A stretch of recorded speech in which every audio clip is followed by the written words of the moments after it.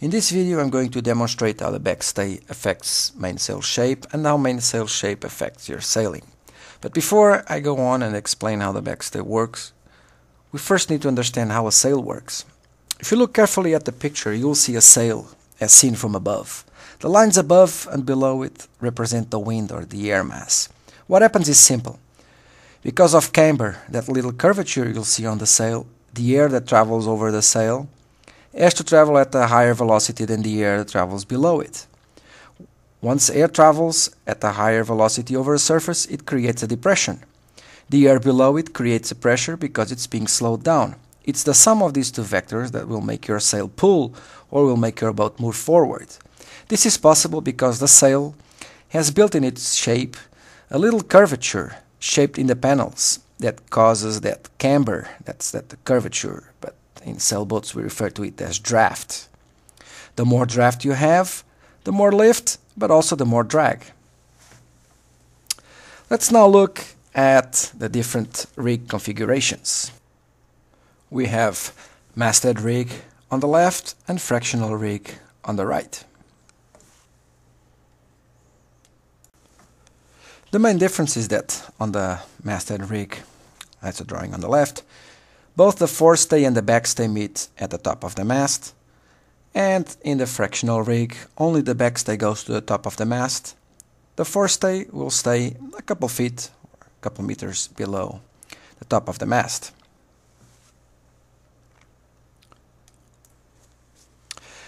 The differences in action is that a pull on the masthead rig's backstay will create tension and pull on the forestay, where a pull on the fractional rig's backstay will not create any added tension to the forestay, it will just bend the mast backwards.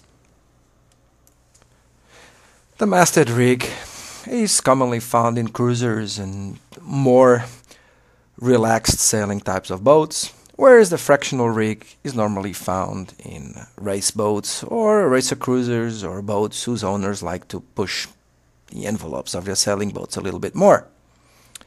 They both have advantages and disadvantages. The fractional rig is just a little bit more tweakable. You can do more tuning and more trimming to your sails with a fractional rig than you can do with a headstay arrangement.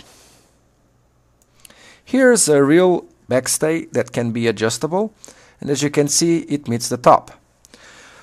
On a headstay or a, a masthead uh, rig, a pull in the backstay will also cause a pull in the stay. Therefore, there's not much you can pull. If you exaggerate your pull, you'll be bending the boat upwards like a banana, and you don't want to do that. The other rig, the fractional rig, if you pull the backstay because it's not counteracted by the stay, it causes a belly in the mast. You can see the mast representation on the right in red. You can see that it causes a belly. This belly in turn will create an increase or a decrease in camber or bag. On the left side you can see the backstay loose. Camber is pretty much exaggerated here but it's pretty high. With a backstay tension there is almost no camber. Let's see that in real life. So we have our backstay that goes all the way to the top of the mast and this boat is a fractional rig. So if I pull the backstay it will not create more tension in the, in the front stay but it will create a belly as I'm representing here with my hands. This boat's backstay is pulled on the floor. Your boat might change but it doesn't matter in this case. So I'm going to pull the backstay and what this is going to cause is it's causing the sail to flatten it will decrease camber. Because it decreases camber, it decreases lift, and therefore it will decrease sail efficiency and the position of the center of effort. In this case, now the mast is fully bellied. I'm now going to release the backstay. Once the backstay is fully released, the sail will gain its camber again. In this footage here you can see a boat with excessive heeling.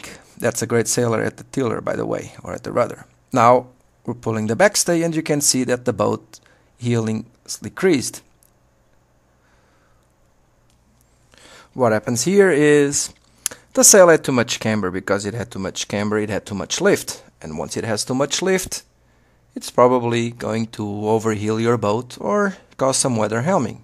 So by pulling on the backstay, we flatten the sail. Flattening the sail decreases camber, decreases lift, and the boat will decrease heel and probably will assume a more comfortable uh, level and make everybody happy and you will see it actually accelerates.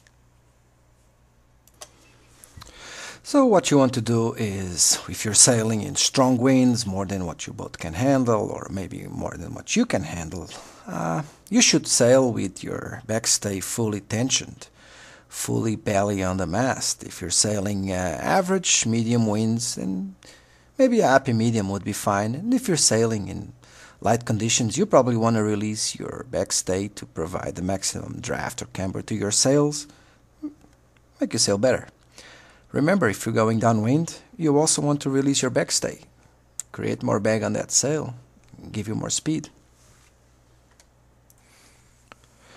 Please, go on your boat, go to sea or the lake or wherever you sail and play with your backstay. Play with the line, see what does what.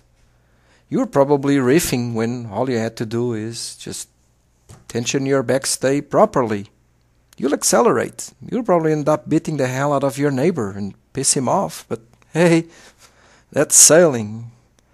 So good luck. Go play with the backstay and you will be surprised.